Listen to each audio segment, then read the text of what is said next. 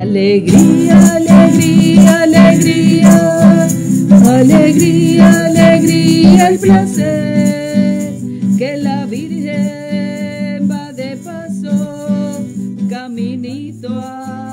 Alegría, alegría,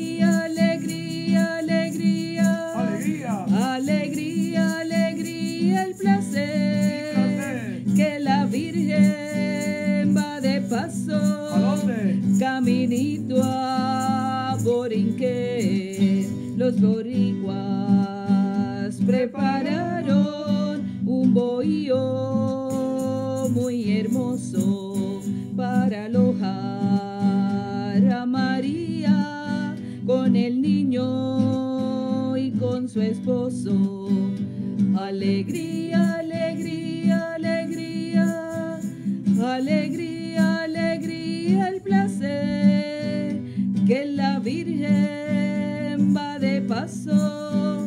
con su esposo hacia Belén. Alegría, alegría, alegría, alegría, alegría, el placer que la Virgen va de paso, caminito a Borinque, nuestra gente jubilosa quieren con su alegría llevar regalos al niño, pues le quieren saludar. Alegría, alegría, alegría, alegría, alegría, el placer que la Virgen va de paso, caminito a Borinquen. Alegría, alegría, alegría, alegría, alegría, el placer que la Virgen va de paso, caminito a Borinque, llevan el sabor a tierra, el aroma del café, llevan la de azúcar y en su corazón la fe. Alegría, alegría, alegría, alegría, alegría, el placer que la Virgen va de paso con su esposo hacia Belén. Alegría, alegría, alegría, alegría, ser que la Virgen va de paso, caminito a Borinquen. Seguro que sí. Buenas con- tardes, Sor Cristina. Buenas tardes, Padre Obispo. Así que este alegría, alegría y placer está inculturado. Eso es así, muy lindo, muy original. Son de las comunidades, la gente que se pone creativa y va sacando estrofitas así, con aroma de café. Con aroma de café, y yo creo que un granito me quedó por ahí porque bien, alegría. Me... Padre, la- el micrófono está, está por allá con el aroma del café. Hay micrófono, pero no café. Ajá, eso es así. Pues Eso es buenas así. tardes tengan todos y todas que con gran alegría conectan con nosotros en este atardecer. Tres de la tarde, hora de la misericordia, pero también una misericordia jubilosa, alegre, gozosa. Se acerca el Mesías, se acerca el día del gran esplendor, se acerca nuestro Salvador. Asimismo, y en esa alegría y en este gozo, en esta tercera semana del tiempo de Adviento, continuamos dando caminos en este camino de fe, pasito a pasito. ¿Cómo es que continuamos dando camino? ¿Será pasos en el Pasos camino? en el camino. Ay, Virgen, es el, es, el, el café. Falta el café por ahí. Ah, Manuel, mira a ver si hay aroma a café por ahí después de esa alegría. Estamos levantados desde temprano, ¿verdad? Con estas sabrosas misas de aguinaldo que ya dieron inicio en, todas las parroquias, ¿verdad? Y que con gran alegría nuestra gente madruga y algunos pues virtualmente se están uniendo a nosotros. Y se unen de distintos lugares y lo importante es que hagamos de nuestra casa un hogar, de nuestro hogar un templo donde Jesucristo sea ciertamente el centro. Y por eso nos preparamos, y por eso oramos, y por eso guardamos, y por eso estamos vigilantes, y por eso tenemos ya las estrellas. Las estrellas. Así que van apareciendo los signos de Navidad. Ujú. Brillan, estrellitas que recuerdan las personas, unas pequeñitas, unas grandes, unas deslumbrantes. Pero ahí están. En nuestro Belén nos recuerdan la familia.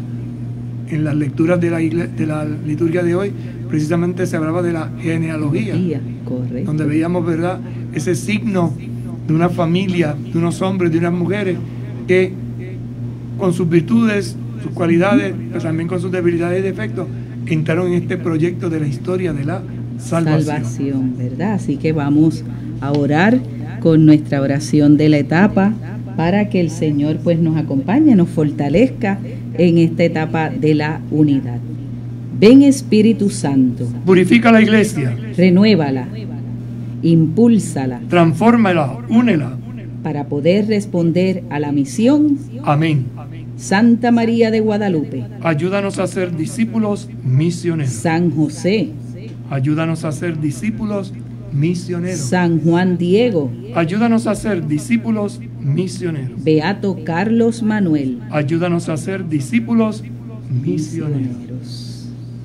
Y continuamos compartiendo con todos y cada uno de ustedes esta hermosa carta del Papa Francisco sobre el significado y el valor del Belén.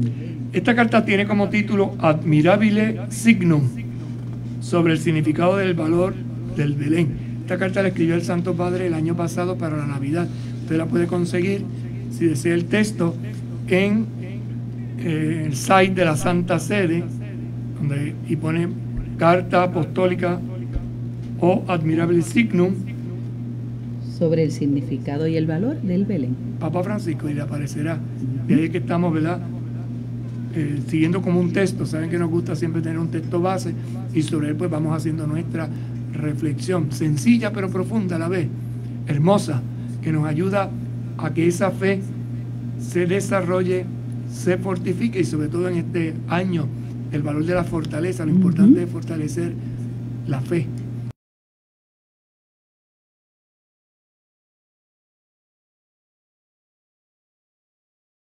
Un significado distinto a nuestro Belén, a nuestro pesebre. Eso es así. Vamos al texto, nos vamos al número 7.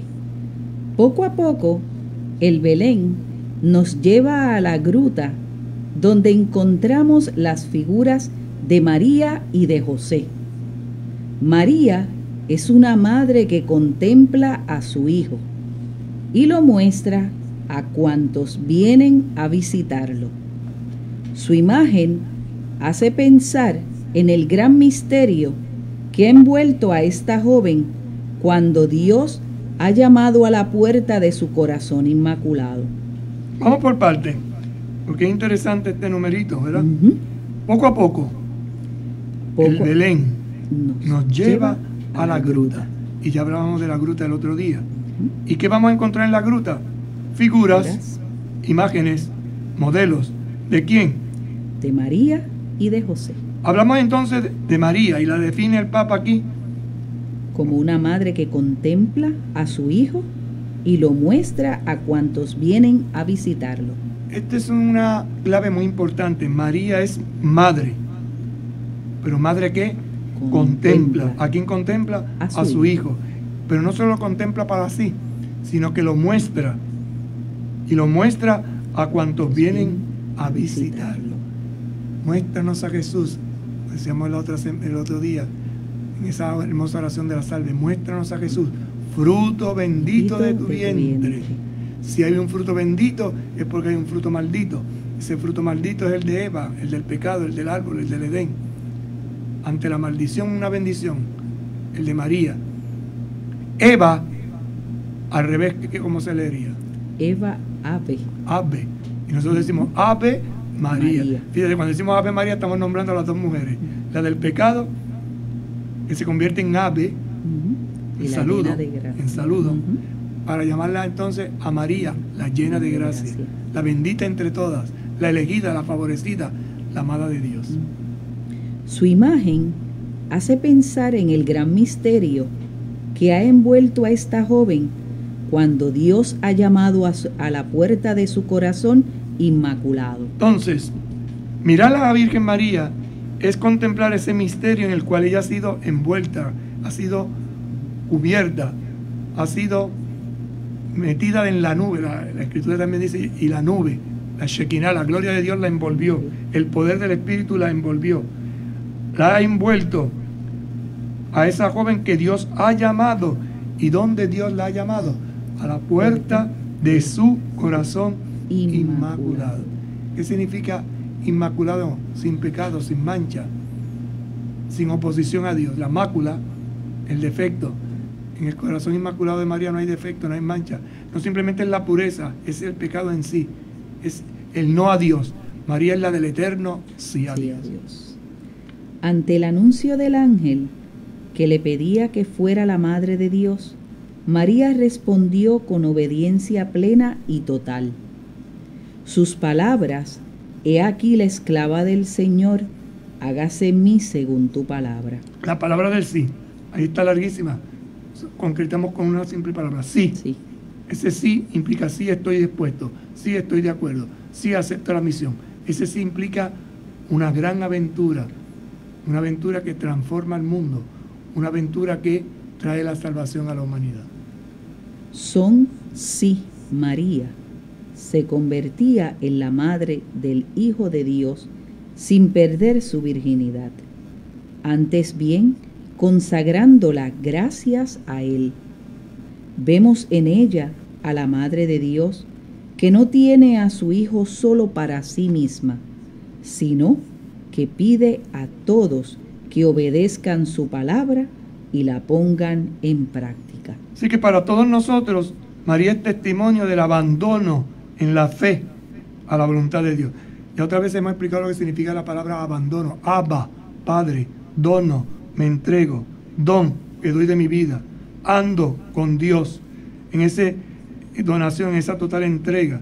Y lo hago con alegría, con entusiasmo. ¿En qué me abandono? En la voluntad de Dios. Pero lo hago con fe.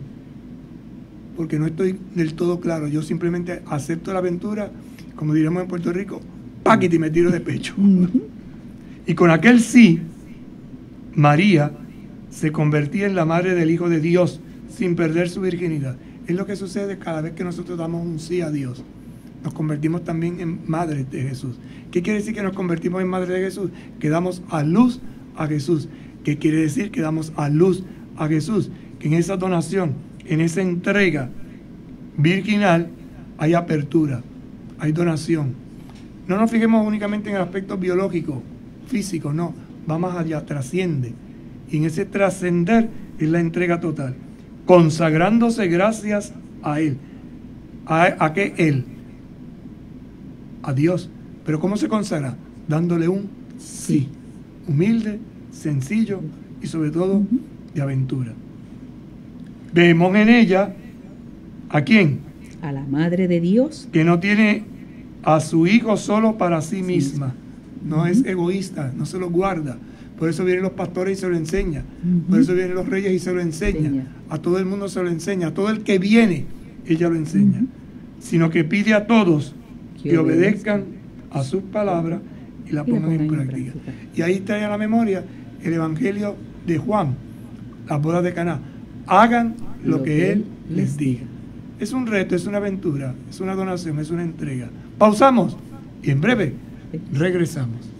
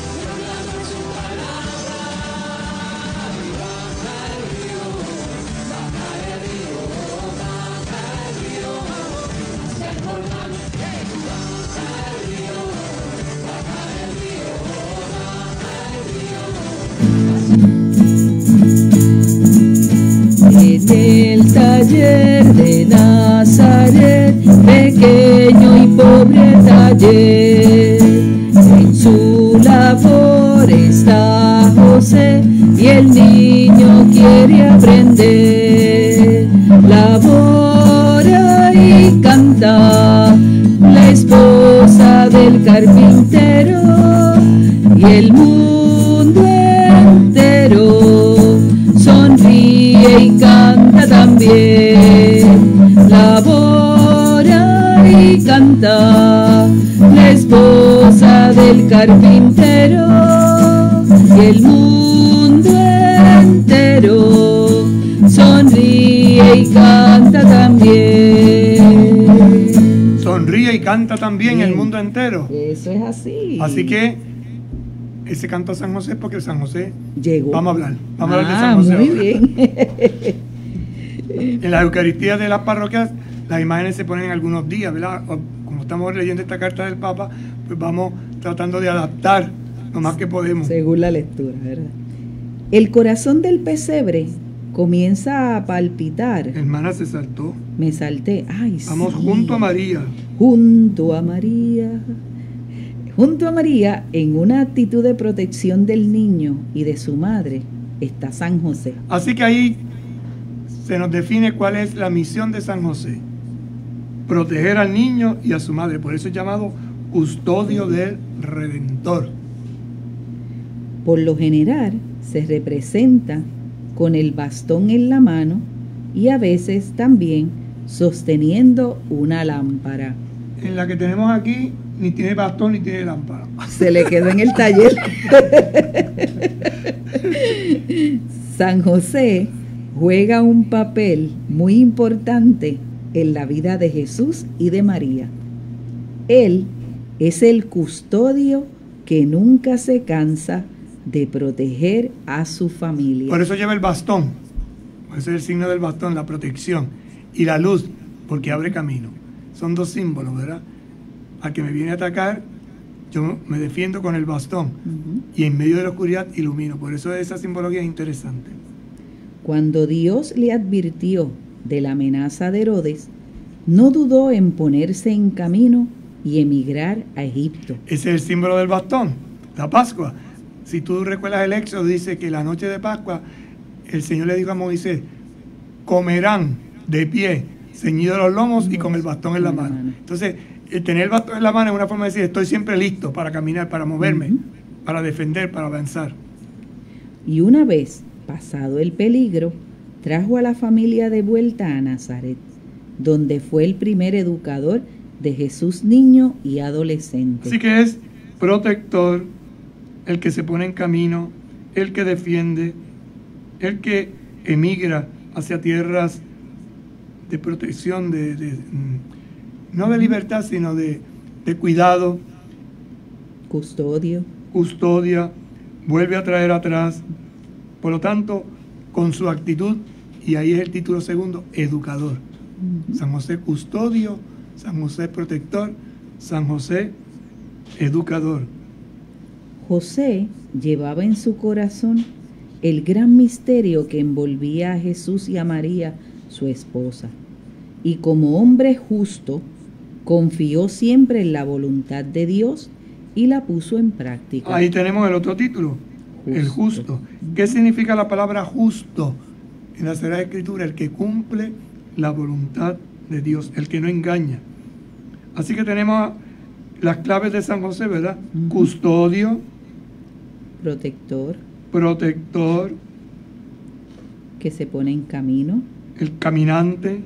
el, este, emigró, El, el emigró podemos, eh, el emigrante. emigrante. Sí, en Sí, esa- porque fueron migrantes, fueron peregrinando de un lugar a otro. El que regresa, es decir, que sabe discernir, Sí. porque ve que ya la cosa pasó, Ujú. discierne, vuelve para atrás. El educador, y corona con esa hermosa frase, hombre justo que confió siempre en la voluntad de Dios y la puso en práctica. Y lo hizo precisamente sin llamar la atención. Hay una oración muy bonita de San José que la comparto con ustedes. El otro día me la hicieron llegar y, se la voy a leer. Y ahora que tenemos la oportunidad de reflexionar un poquito sobre ese José, hombre justo, y dice lo siguiente. Enséñanos José, se llama la oración. Es la oración de humildades a San José. Enséñanos José cómo se es no protagonista, cómo se trabaja sin exhibirse, cómo se avanza sin pisotear, cómo se colabora sin manejar, cómo se ama sin reclamar. Enséñanos y dinos cómo se vive siendo número dos o tres, cómo se hacen cosas formidables desde un segundo puesto. Dinos cómo la inmensa mayoría de nosotros tenemos que ocupar estos lugares, los segundones, los segundos lugares, en los que está nuestra verdadera y oculta grandeza. Dinos cómo se vive con elegancia, siendo no importante. Convéncenos de que se puede y debe ser útil, fiel, efectivo, hasta héroe, siendo no importante. Explícanos cómo se es grande sin exhibirse, cómo se lucha sin aplausos, cómo se avanza sin publicidad, cómo se persevera y se muere sin que nos hagan estatuas u homenajes, cómo se hace para ser útil, positivo, generoso, sin necesidad de ser importante y todavía más difícil, cómo se hace para darlo todo sin ser protagonista. Y a pesar de ello, sentir por dentro una paz, una felicidad, un gozo profundo. Enséñanos, José. Amén. Amén. Una oración bien bonita que en cierta medida recoge una mentalidad que es la contraria al mundo. El éxito, el aplauso, ponte en primer lugar, que te reconozcan, no te dejes pisotear, te, todo para arriba, para arriba, para arriba. Y la grandeza de San José está que desde la sencillez, humildad, la imagen o el cuadro de la Virgen de la Alta Gracia presenta a San José de una manera muy interesante. En primer plano presenta a la Virgen María con el niño Jesús. Y detrás, medio oculto en la oscuridad, a San José con el bastón y la lamparita. de una manera bonita que recoge esto que estábamos comentando hace un momento, ¿verdad? El pueblo ha entendido siempre la figura de San José una gran acción, pero desde el que sabe estar en segundo lugar. El que sabe estar a la sombra, a la sombra, como diría el salmista, del Altísimo, al amparo del Altísimo. Otra de las cualidades de San José Padre, la escucha, aunque aquí no lo dice, pero la escucha. Estuvo atento, ¿verdad? A, a la voz de Dios en todo momento, al ángel cuando le anuncia, no temas. La inquietud. Es un hombre que sabe leer los signos, ¿verdad? Se inquieta, escucha lo que dice el ángel, no puede dormir. Y en esa lucha interna descubre a través de la escucha, como usted bien decía, de la palabra de Dios, esa profecía de Isaías que confirma que el niño que María lleva en su seno es el Mesías y que a él lo que le corresponde es custodiarlo, protegerlo, defenderlo, carretearlo para aquí, carretearlo para allá.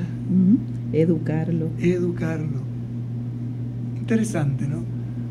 Cómo se dignifica su persona. Una vez pasado este tiempo de la Navidad, comenzaremos a comentar la carta que el Papa ha escrito con motivo del año de San José, que también es preciosa y nos va a venir muy bien. Por eso esto nos sirve como preámbulo. El corazón del pesebre comienza a palpitar cuando en Navidad colocamos la imagen del niño Jesús. Y el niño Jesús siempre en los pesebres de la familia lo pone el más joven. Así que vamos a pedirle a Manuel, que es el más joven entre nosotros. Ajá, que lo coloque, ¿verdad? Aunque todavía no ha nacido. Pero para los efectos de lo que estamos. Mi madre, pero mira qué, qué coqueto ese niño. Dios se presenta así, en un niño, para ser recibido en nuestros brazos, en la debilidad y en la fragilidad esconde su poder que todo lo crea y transforma. Parece imposible, pero es así. En Jesús, Dios ha sido un niño y en esta condición ha querido revelar la grandeza de su amor, que se manifiesta en la sonrisa y en el tender sus manos hacia todos. Fíjate que este parrafito es como el centro de todo esto. Vamos a leerlo otra vez con calma, vamos a saborearlo, porque el corazón del pesebre comienza a palpitar cuando en Navidad colocamos la imagen del niño Jesús. Aunque le hemos puesto ahora, para seguir un poquito la secuencia de la carta, la imagen del niño Jesús se pone en la Nochebuena. Es decir, cuando en el hogar se celebra la Navidad. Esta Nochebuena que comienza con una cena. Esta Nochebuena que antes de ir a la misa de gallo, pero este año será muy temprano la misa de, este año será, de pollito. Yo creo que de huevo. sí, porque no, puede ser ni, ni, entrada la primera vigilia de la noche hacia las 8. Tenemos que hacerla más temprano para que el toque, de, queda no nos coge en la calle. Pero esa misa celebrada, entonces se hace la cena, cuando hay familia, ¿verdad? Se comparte, se pone el niño Jesús y entonces se iba a la cena, a la, a la Eucaristía. O al revés, se iba a la Eucaristía, después se cena, se coloca la imagen. Hay distintas variantes, pero es esa noche. Por eso tener los niños Jesús en los pesebres ahora todavía no hemos puesto porque estamos hablando de esto, para resaltar, ¿verdad? Que el corazón del pesebre comienza a palpitar cuando en Navidad colocamos la imagen del niño Jesús. ¿Y qué pasa? Dios se presenta así. Dios se presenta así. ¿Cómo? En un niño, para ser recibido en nuestros brazos. Fíjate que esa es interesante la frase, ¿no? Dios se presenta como un niño para ser recibido. ¿En dónde? En nuestros brazos. ¿Y qué implica eso? ¿Qué, ¿Qué, le dice a usted esa frase? Dios se presenta así en un niño para ser recibido en nuestros brazos la ternura, la, la... Sí, sí, pero vamos a los verbos. Se presenta, se hace visible, para ser recibido, para ser recibido. Es el gesto de la comunión, acogida. Cuando nosotros vamos a comulgar, los que ahora por la cuestión de la pandemia, ¿verdad? pues se ha puesto como una especie de eh, pequeña exigencia por la cuestión de la no contaminación, pero hay varias formas de recibir la comunión. La que muchos de nosotros conocemos desde niños, que era recibir la comunión en los labios, un gesto que a muchas personas les gusta. Pero los primeros cristianos recibían la comunión en la mano. Cuando recibían la comunión en la mano, es un poco esto que está diciendo aquí. Se presenta, por eso el ministro presenta el cuerpo de Cristo, lo deposita y se deposita en las manos, pero esas manos están puestas de una manera especial la izquierda sobre la derecha o la derecha sobre la izquierda, dependiendo si usted es derecho o es zurdo. no, ahí dice que derecha... Eh, hay que entender que los zurdos comen al revés, ¿verdad? Entonces, la izquierda sobre la derecha, los que somos derechos. ¿Por qué? Porque se hace un trono. ¿Cuál es el trono de Jesucristo? La cruz. La cruz. Pero esa cruz también nos recuerda la cuna. Entonces, fíjate, se recibe Dios Dios se hace presente así en un niño. Para recibirlo en nuestros, brazos. acogerlo. ¿Y se presenta en qué? En, la debilidad. y en la fragilidad. Esconde su poder que todo lo crea y transforma. Curioso, ¿no? Lo que es debilidad y fragilidad aparente esconde un poder, el poder del amor de Dios. Y ese poder del amor de Dios todo lo crea y lo transforma. Entonces, presenta, es recibido. Se presenta en la debilidad y, en la, fragilidad. Pero en esa debilidad y en esa fragilidad Crea. esconde su poder. ¿Cuál es el poder de Dios? El amor, no, el, no la fuerza, el puño. Y ese poder de Dios, que es el amor, todo, todo lo crea y, lo transforma. Parece imposible, pero es así. En Jesús, Dios ha sido un niño y en esta condición ha querido revelar la grandeza de su amor, que se manifiesta en la sonrisa y en el tender sus brazos, sus brazos, perdón, sus manos hacia todos. Interesante. se revela la grandeza de su amor. Y esa grandeza del amor de Dios se revela en qué? En la sonrisa. Y en el atender y en el tender. Te necesito para que me cargue, para que me acoja, para que me reciba. Dios me necesita. Fíjate e, el concepto, ¿no? Como un niño necesita que se le acoja, que se le reciba, Dios de la misma manera nos ayuda a que experimentemos su necesidad. Pero es interesante porque ah, arriba decía, los recibido en nuestros brazos y luego tiendo mis brazos, ¿verdad? Eh, tender sus manos hacia todos, o sea, lo presento, lo doy a todos.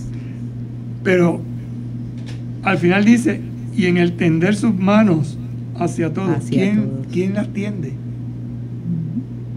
Jesús. Jesús devuelve ese abrazo. Sí, yo le recibo, pero no solo le recibo yo, porque cuando Él me tiende los brazos a mí, le está tendiendo los brazos a, todos. Porque en uno se da a todos y en todos, se, da, a uno.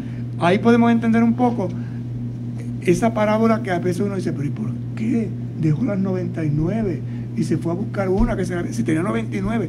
Porque es que si no cuida la una que se le perdió, no va a cuidar las otras 99. Sí, él cuida las 99 como cuida la una. Tan importante es esas 99 como la una, pero la una es tan importante como las 99. Es ese esa paradoja que a veces no entendemos. Y por eso es para todos, o sea, no para un grupo, sino para todos. Y no para unos selectos. Y no es para los más fuertes. Es curioso, eh, cuando uno mira en las familias la llegada de un nuevo miembro. O sea, nace un niño y se crea todo un ambiente familiar, ¿verdad? Y entonces lo van a visitar. Pero cuando ese niño es presentado por primera vez, como diríamos en sociedad, ¿sí? cuando ese niño es presentado a la familia y todo el mundo lo quiere cargar. y entonces si tiene hermanito, cárgalo. Y, y, los adultos estamos como cuidado, que no se te caiga, que ten cuidado. Pero esa misma acogida que le da el más pequeñito, que a veces los niños pequeñitos aprietan tanto el que lo va a meter, no lo aprietes tanto. Después lo vemos en la anciana, en la abuela o en la tía mayor, en que recibe al niño, ay, es que se me puede caer. O el papá, por primera vez que sostiene al niño, que no sabe cómo hacerlo. Porque los varones, como regla general, no cargamos muchachos. Las mujeres ya están más acostumbradas, ya el instinto, los varones somos en eso. Entonces, ¿y cómo lo agarro? Hay que saberlo agarrar, la cabecita, la mano, todo esto tiene todo un ritual. Pero el niño también se acomoda a ese ritual. Protección, defensa, cargar, acompañar. Seguridad. Todo eso, ¿no? En un simple gesto, tender. Y no solo eso, míralo, lo muestra. Eso que hizo la Virgen María es lo que estamos llamados a hacer nosotros como iglesia, es lo que tú y yo estamos llamados a realizar en cualquier lugar donde nos encontremos. Mostrarle al mundo a Jesucristo, que a su vez tiende sus brazos para acogernos. El nacimiento de un niño suscita alegría y asombro, porque nos pone ante el gran misterio de la vida, viendo brillar los ojos de los jóvenes esposos ante su hijo recién nacido, entendemos los sentimientos de María y José, que mirando al niño Jesús percibían la presencia de Dios en sus vidas. ¿Qué suscita un nacimiento? Cualquier nacimiento de un niño o de una niña suscita alegría y asombro, porque nos pone ante el misterio de la vida. Fíjate lo que supone el abrazo íntimo de comunión profunda entre un hombre y una mujer. Es fruto de amor. Surge una vida nueva, pequeñita, frágil, que va creciendo. Por eso, eh, y me viene a la memoria el salmo, ¿no? tú me vas entretejiendo en lo profundo del seno de mi madre y lo haces con amor. Y eso es y, guardo silencio en este momento, ¿no? porque es un misterio que asombra tanto.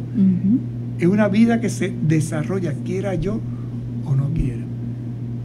de la unión de dos células brota un cuerpecito que se va desarrollando, que crece, que llegado a cierto tamaño nace, es expulsado, es lanzado fuera a un mundo hostil, pero que es acogido por unos brazos que aman, que reciben. Por eso dice aquí, porque nos pone ante, la gran, ante el gran misterio de la vida. El nacimiento de un niño suscita alegría y asombro porque nos pone ante el gran misterio de la vida. Y ese gran misterio de la vida, ¿dónde se descubre? Y por eso sigue. Viendo brillar los ojos de los jóvenes esposos ante su hijo recién nacido. Viendo brillar los ojos de los jóvenes esposos. Yo a veces le digo a la gente, ¿qué es lo más hermoso que fabrica un hombre y una mujer, un niño? Tú observas.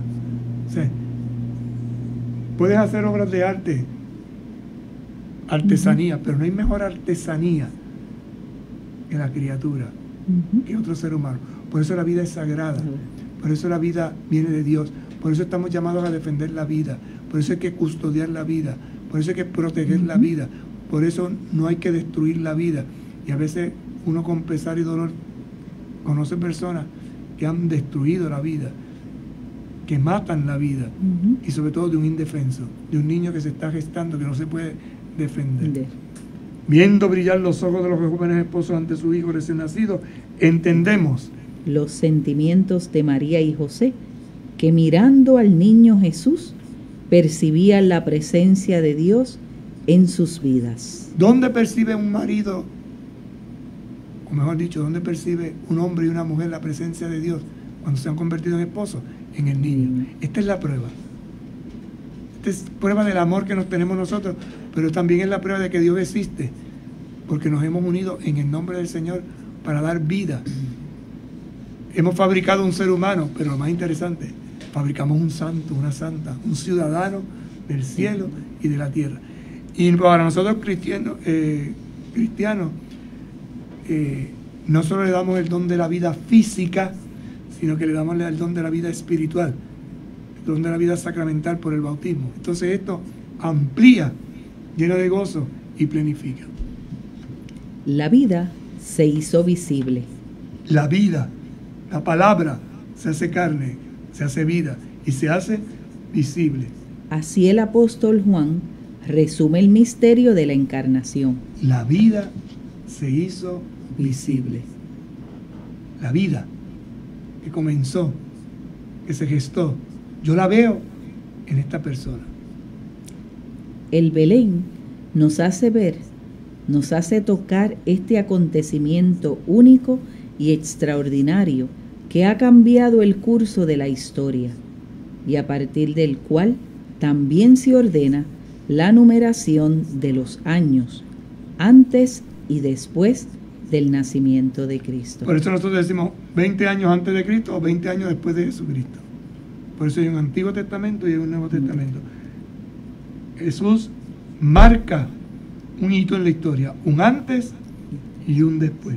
El Belén nos hace ver, nos hace tocar. ¿Qué nos hace ver y qué nos hace tocar? Este acontecimiento. ¿Cuál acontecimiento? Que la vida se hizo visible. Este acontecimiento que es único y extraordinario. No se vuelve a repetir más. Por eso nosotros lo celebramos. Y en la celebración que hacemos anualmente de la Navidad, actualizamos ese misterio de salvación. Y esto ha cambiado el curso de la historia. Y a partir de ese momento, de ese acontecimiento, también se ordena la numeración de los años. Es decir, se dio un giro total. Por eso decimos, estamos en el 2020, hace 2020 años que celebramos este acontecimiento. El modo de actuar de Dios casi aturde, porque parece imposible que Él renuncie a su gloria para hacerse hombre como nosotros. Que Dios renuncie a su gloria para hacerse hombre como nosotros. No, no, nos cabe en la cabeza. No, es difícil, es impactante. Por eso es misterio. Llamamos misterio a las verdades de fe.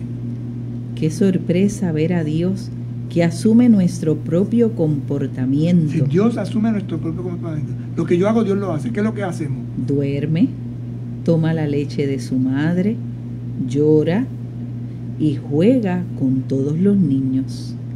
Fíjate lo que hace, leer otra vez. Duerme. Como yo. Toma la leche de su madre. Como yo. Llora. Como yo.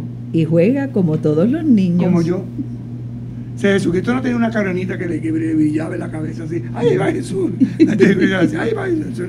Un niño normal. normal. Como siempre, Dios desconcierta, es impredecible, continuamente va más allá de nuestros esquemas. Va más allá de nuestros esquemas. Nosotros queremos encajonar, no, Dios no se deja encajonar.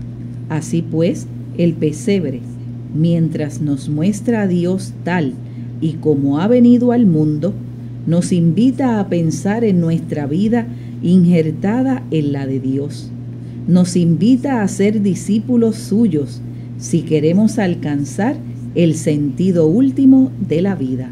¿Qué nos enseña el pesebre? Mientras nos muestra a Dios tal y como es, tal y como ha venido al mundo y como ha venido al mundo como un niño, ¿y qué hace el niño? Duerme, toma leche que de su madre, llora, juega como todos los niños. Nos invita, aquí viene el cambio, ¿Nos invita a qué? A pensar en nuestra vida. ¿Pensar? ¿En qué? En nuestra vida. Pero no de cualquier manera, sino en nuestra vida. Injertada en la de Dios. Unida a Dios. Y además. Nos invita a ser discípulos suyos. Escucha, aprende, practica.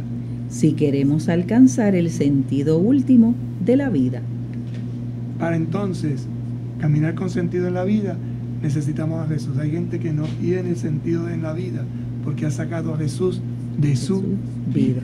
Y entonces no tiene vida, porque la vida se hizo visible en Jesús. Cuando se acerca la fiesta de la Epifanía, se colocan en el nacimiento las tres figuras de los Reyes Magos. Observando la estrella, aquellos sabios y ricos señores de Oriente se habían puesto en camino hacia Belén para conocer a Jesús y ofrecerle dones. Caminaron para conocer a Jesús, ofrecerle dones. Fíjate que este es la clave de la enseñanza. La estrella la observamos, la estrella nos pone en camino. Eran sabios, eran ricos, tenían sus dones. Se pusieron en camino. ¿Para qué? Para conocer. ¿A quién? A Jesús. ¿Y qué hacer? Ofrecerle, dones. ¿Cuáles dones? Oro, incienso y mirra. Y estos son regalos simbólicos, alegóricos. El oro. Honra la realeza de Jesús. El incienso. Su divinidad. La mirra. Su santa humanidad que conocerá la muerte y la sepultura. Por lo tanto, esta simbología enmarca toda nuestra existencia. El oro, la realeza, el servicio. Eres verdaderamente rey cuando eres capaz de servir. Por eso decimos, servir es reinar y reinar es servir.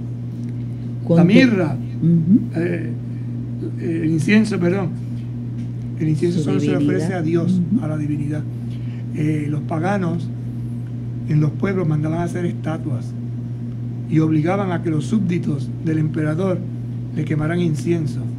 Porque era una forma de decir, esta estatua representa al César, el César es Dios, por lo tanto, si queman incienso ante esta imagen, estás adorando por eso los cristianos se negaban. Y por eso fueron mártires, testigos, porque decían, nosotros adoramos al verdadero Dios, no se esta estatua que está ahí. No, no, no. No. El incienso, la adoración, solo a Dios. Y la mirra recuerda la humanidad, la debilidad, el sufrimiento que conocerá Jesús en su sepultura. Contemplando esta escena en, en el Belén, estamos llamados a reflexionar sobre la responsabilidad que cada cristiano tiene de ser evangelizador. Ahora viene la aplicación. ¿Cómo ser evangelizador con espíritu? Pues evangelizador con espíritu, veremos después haciendo síntesis de todo esto, parte de la contemplación que hacemos del pesebre. Cada uno de nosotros se hace portador de la buena noticia. Portador de buena noticia, ahí tienes una clave.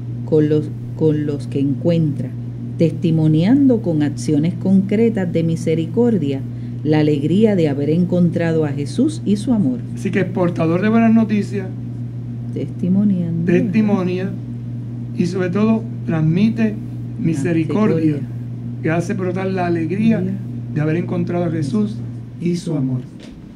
Los magos enseñan que se puede comenzar desde muy lejos para llegar a Cristo. Son hombres ricos, sabios, extranjeros, sedientos de lo infinito, que parten para un largo y peligroso viaje que los lleva hacia Belén. Una gran alegría los invade ante el niño rey. No se dejan escandalizar por la pobreza del ambiente, no dudan en ponerse de rodillas y adorarlo. Ante él comprenden que Dios, igual que regula con, soberana sabiduría el curso de las estrellas, guía el curso de la historia, abajando a los poderosos y exaltando a los humildes. Y ciertamente, llegados a su país, habrán contado este encuentro sorprendentemente con el Mesías, inaugurando el viaje del Evangelio entre las gentes. Y hasta aquí nos trajo el carrito hoy. Vamos a pasar aquí, ya estamos terminando esta hermosa carta. Haremos mañana recapitulación de todo lo que hemos reflexionado y de por dónde nos quiere orientar el Papa en esta Navidad. Cantamos. Después de beber agua. Muy bien. Porque no hay café. Ay, no hay café. alegría, alegría, alegría. Alegría, alegría, el placer. Que la Virgen va de paso, caminito a Borinque. Alegría, alegría, alegría. Alegría, alegría, el placer. Que la Virgen va de paso, caminito a Belén. Los boricuas